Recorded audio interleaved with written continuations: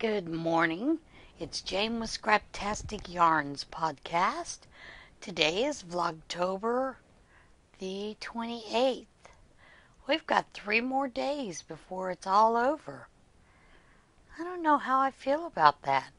I've been, I enjoy doing these. I know I don't always uh, stick to a daily schedule because of things that are going on, but it's been fun. And again, we'll do it again in December. That should be interesting. I have continued to work on my WIPs, you know, and one of those is this shawl that I have been working on. This is where I was a couple weeks ago. This is how much I've managed to get done. Yeah, it's not getting a whole lot of love. Um, basically, I've been working on those quilts for the babies and that has been that has taken up a lot of my time as well as doing the turkey hats. That has taken up some of my time um, and of course you know now we've added the uh, panda bears which see got eyes now he's less scary. We're adding those we're adding zebras we're we're adding it all in going full force. So, and some of the other girls don't care to um, make the eyes and noses, those kind of things. So generally, they'll make the hats and I finish them off, which is fine. Not a big deal. But it just means you have to sit your butt down in a chair and get those little items done. Yeah. Um, and you know, I've had this floater in this right eye. Today it's really bothering me. It's like a Chinese glyph that clouds my vision. So um, it it can get annoying and uh, gets in the way of some of the work. However, it didn't get get in the way of any of the uh, Tunisian shawl that I've been working on. I had added these rows of laces. Now I'm working on this getting up to the point where I'll be ready to do the center panel.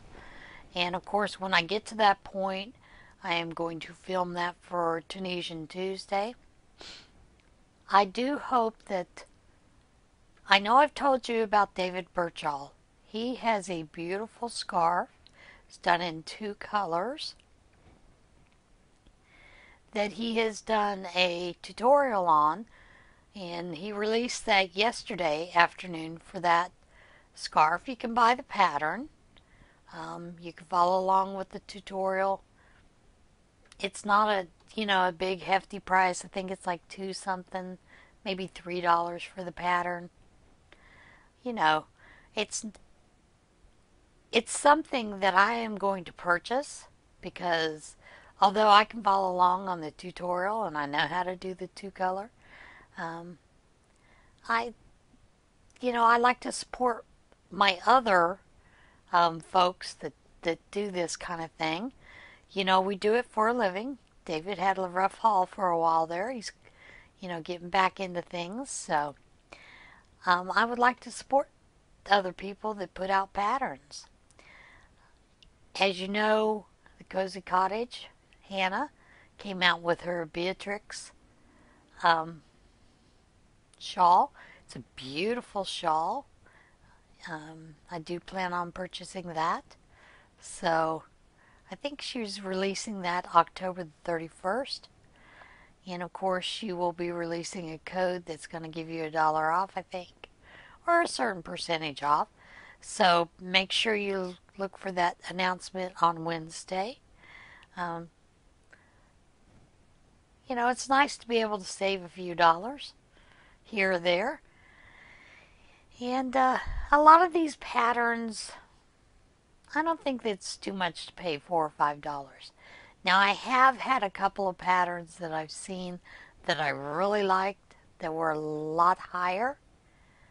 Um, but I've not been willing to spend over a certain amount for one pattern. That's just me. You know, I don't know if other people do that or not, but I have a set limit. I'm not willing to go higher than, you know, a certain amount for a pattern for a scarf or a hat.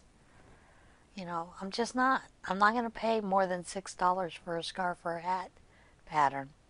And I don't care what it is. Uh, that's, and that's just me.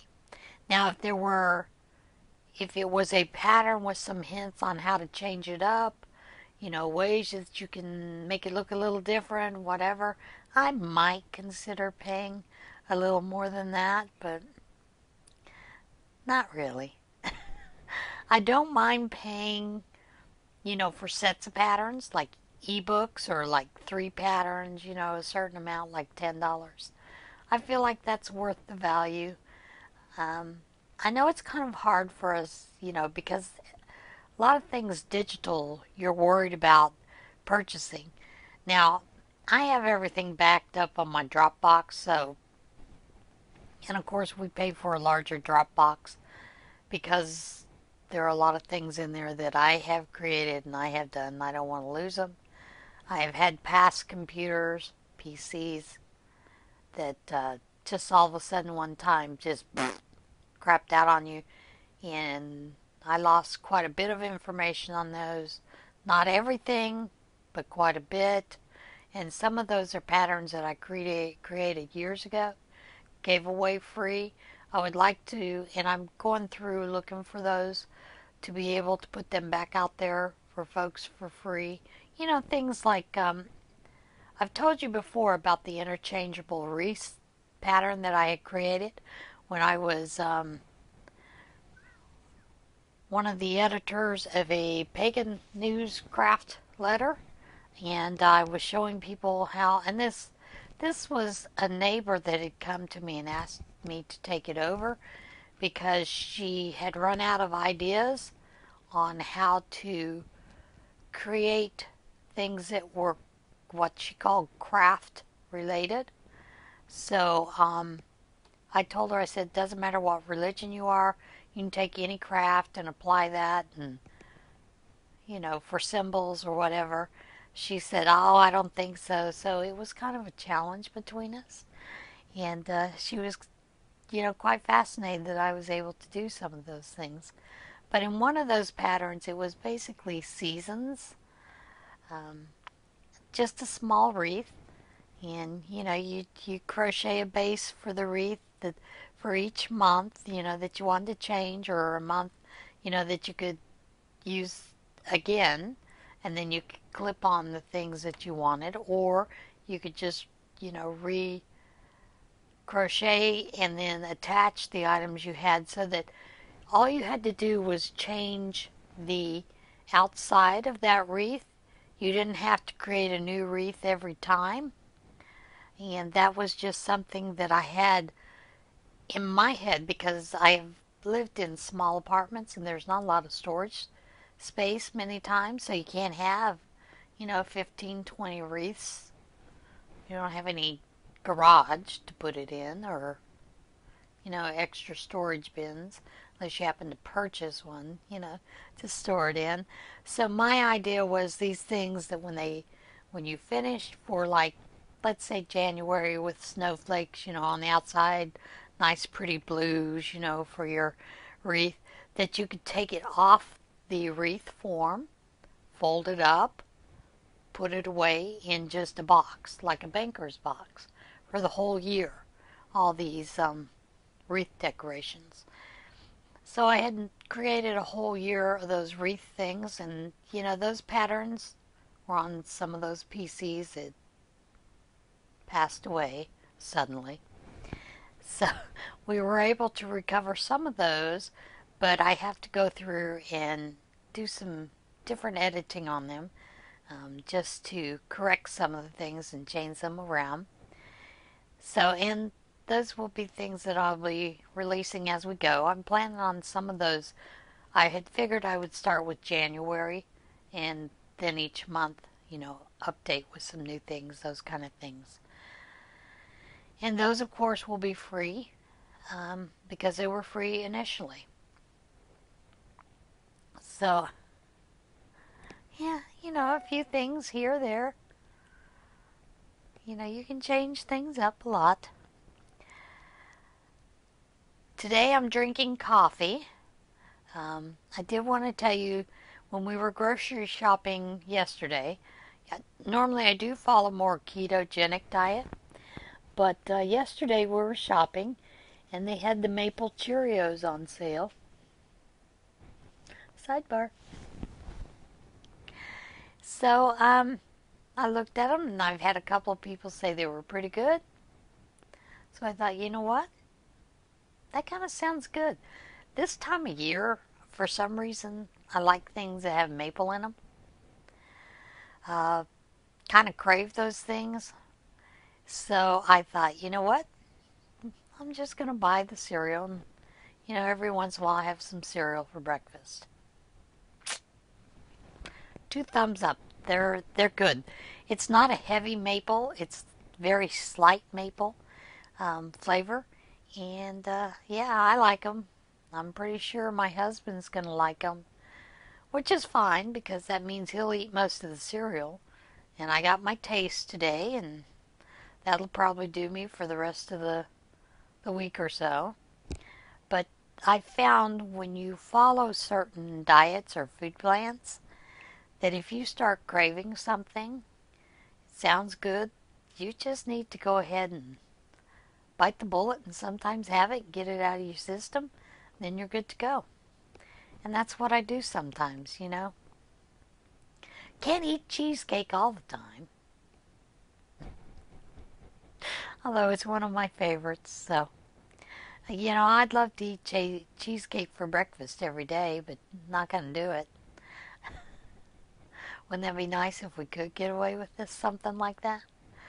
Although I do know there are some people that do that. Okay, folks, I'm going to go for now. This afternoon is going to be spent in the sewing room working on some of those things. Um, hopefully, the eye won't bother me too much. Uh, and I think it's right at that point, it's about ready to be fully absorbed, but it's still kind of you know, got to show off its little floater business. And for those of you that don't know about floaters, unfortunately, as we get older, it happens. It's the vitreous that's in the eye that just kind of gives off these things, and uh, you have to deal with it.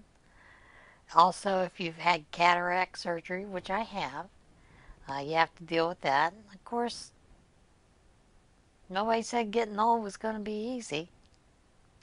Maybe the golden years, but it's not all that golden. And I'm almost an undocumented senior, people.